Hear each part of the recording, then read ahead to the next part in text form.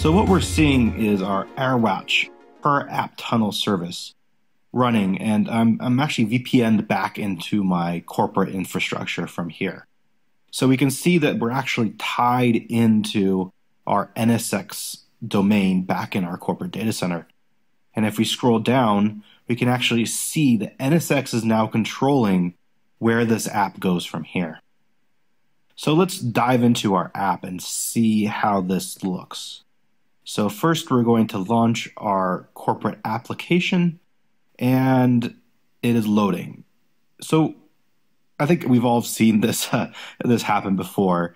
Um, we get this this connection timeout, um, or just kind of a poor user experience.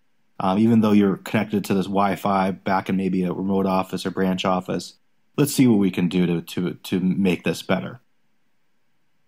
So let's look here in our our NSX SD-WAN by VeloCloud. Um, here we can see we have one of our branches. And as we click into here, we can actually see that we're no longer bound by a single link, but can actually utilize a diverse set of commercial grade broadband links to distribute our traffic across. So we're seeing traffic going across our AT&T UVerse and our Comcast cable. We can dive in a little bit further and actually see some more statistics like latency, jitter, packet loss. And from there, we can even go one step further and look at some of our, our real time statistics. Look at what's flowing across both those links, and actually that both of those links are actually being utilized by the traffic. And here we see even more details around TCP, UDP, really we're monitoring a lot of information. But where this comes into play is actually how do we fix that user experience for that that uh, business critical application? So let's click into our enterprise branches, business policies, and let's go ahead and define a new business policy for my AirWatch traffic. So it's as simple as creating a new role. Let's go then um, define the application scroll down to our business collaboration, and then we can find our VMware AirWatch um, apps. So what we're doing here is we're actually um, explicitly defining a business application rule where we can enable some things like dynamic path selection or, or really our multi-path optimization technique, which can provide per packet link steering. Uh, and, and, when we do that per packet link steering, we're, we're taking into account all those kind of calculations we were showing earlier, uh, jitter, latency, etc., to provide kind of some remediation techniques like forward error correction or or activating jitter buffering. And really, all of this, the end goal is to provide that that that better user experience, that end user kind of experience that they're looking for uh, when they're actually connected in that branch. So let's click OK and switch over to our iPad to see if we've fixed our, our experience here. So now we get the loading screen again. So you can see our quarterly report has been generated. Um, user experience is great, and it's actually all protected all the way back into the corporate data center through AirWatch and NSX.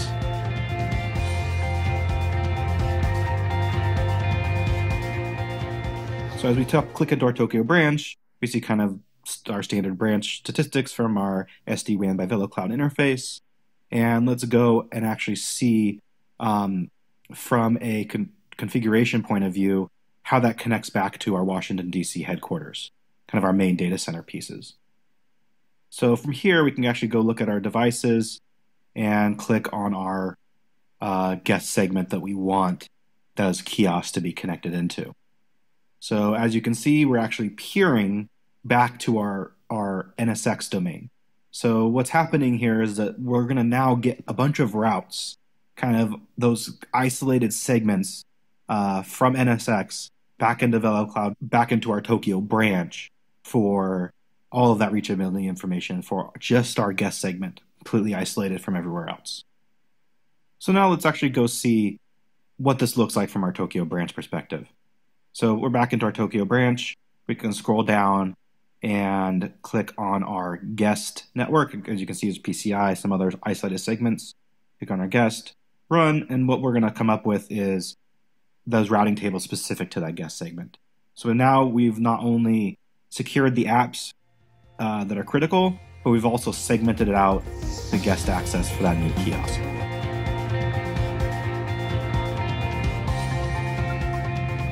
So next up, let's actually go into one of our data centers and deploy a three-tier application. This isn't going to be your three traditional three-tier application. It's one to be made up across multiple workload domains. Our first workload domain is going to be our virtual machine. Uh, and this is a simple MySQL database. If we go into NSX, we can easily find that MySQL database, click on it, and we should see some of the details about the database within NSX, and more importantly, the tier of database, and our app is in MySQL tags. This is how NSX inherits the information. So next up, we're actually going to, go deploy our app tier, but we're going to do so in Kubernetes. In this case, Pivotal Container Service. Uh, as we see here, we have our namespaces within Kubernetes. And if we go over here, we can expand to kind of see that these are all mapped to logical switches within the NSX data center domain. Let's go back to our console. And again, the console is something that probably your developers are going to be used to, uh, someone familiar with Kubernetes. Uh, and if we can go and actually look at the specification and scroll up, we can actually go see what the developer is going to see. And quite honest, this is transparent to the developer. They just have to add some labels to say, here's my PlaneSpotter app. It's an app tier, and we're going to go inherit that within NSX directly. So let's go deploy our app. We've created our app. We can watch it up and running, and we're good to go. We can go refresh over here, and as we scroll down, we can now see our app tier has been deployed. Pretty simple, pretty straightforward. That's really the goal of this. Okay, so next up is our front end. So our front end, we actually want to go deploy in Pivotal Cloud Foundry. So we have our, our Cloud Foundry console up, and we're, we're, we're basically running a set of commands that developers are going to be doing to create their orgs, their, uh, their spaces to the dev, and start getting their app up and running. So we move to our, our app, CF push, kind of similar YAML spec that we, we, we showed before, and, and our app will be up and running shortly. Great, so now that our app is up and running, let's go refresh, and now we can see our front end that's been deployed. So now that we have all of our networks up and running, let's actually make sure all of our firewalls have been automatically put in place as well. So here, as we scroll down, we can actually see that our applications are all in the correct firewall policies, all in place.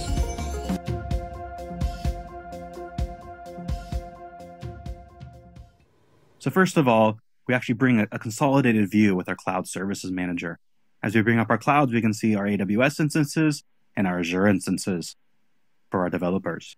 Click on AWS, click on the instances, and then we can dive into say, let's go maybe just look at our hybrid VPC. We can scroll down and see our PlaneSpotter front end that's been deployed in AWS. Go back, click on Azure and their instances, and here we can see our PlaneSpotter app front end in Azure as well. Next up, we can actually go over into NSX.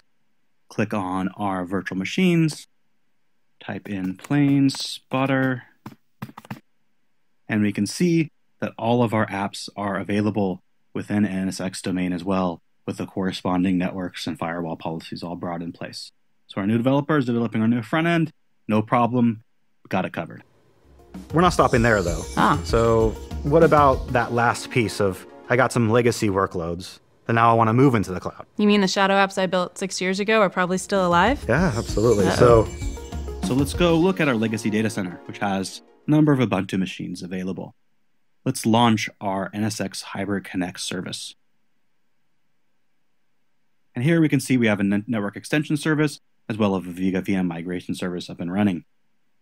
Click on our extended networks, and as we load, we'll see that our destination network seems like a bunch of random numbers, but it will correspond to an NSX uh, logical switch once our migration is complete. Let's go ahead and migrate some VMs. So first of all, we need to select our VMs to migrate. But before we can do that, we have to select uh, some criteria. First, our, our resource pool that we want us, our destination to be. Next, our data store that we want to select. Then the type of provisioning. And in this case, we want to do a bulk migration of the workloads. Let's scroll down and select the VMs we want to send over. So we'll select uh, eight Ubuntu VMs, um, bulk migration. We want to move a bunch. Moving one maybe seems simple, uh, but we want to move a bunch over. So uh, we can select our eight VMs that we want to move, click next, and we'll do some very simple validation that we can proceed, click finish, and then wait for our migration to happen. Simple as that, a few clicks, and we're moving our eight VMs over to our VMware Cloud on AWS service. Okay, looks like we've finished, so let's click over to that service. As we can see, we have our software-defined data center in the VMware Cloud on AWS. Click on some details of that service. We have it up and running, and on our networks. So our networks will consist of a management gateway, our compute gateway, connection back to the on-prem, um, some of the firewall rules, and logical networks. So let's scroll down and actually take a look at one of those logical networks. Ah, here we go. We have those uh, digits that we talked about earlier as our destination network, which is an NSX-backed uh, logical network. And that's all we have it. I mean, a few clicks and we migrated our workloads over to VMware Cloud on AWS.